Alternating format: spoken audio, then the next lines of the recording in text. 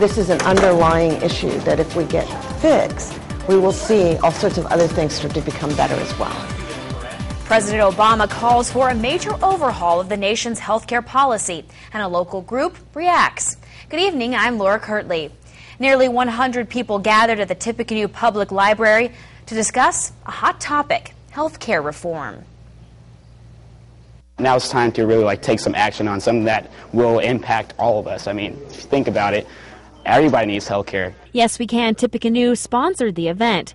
Doctors and experts spoke about the president's plans to reform the healthcare system. Susan Rose says similar events are happening in many communities across the country. This really is a way to get um, the word out so people have a much better understanding and also hear what people in the community are concerned about. Dr. Rob Stone with the Hoosiers for Common Sense Health Plan says the forum is a step in the right direction towards educating the public about the reform. If we're going to really get the health care reform that's going to take care of people rather than you know, benefit uh, some, some wealthy corporations, it's going to take some grassroots work.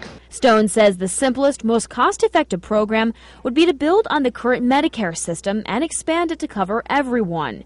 Although the Obama health care plan differs slightly, he says it's what can work at this time. Obama is choosing a plan which seems a little more politically feasible right now, and so uh, that's what he's proposing: is this uh, public option which would allow people to buy into something like Medicare and would provide some insurance, excuse me, some competition to the insurance companies.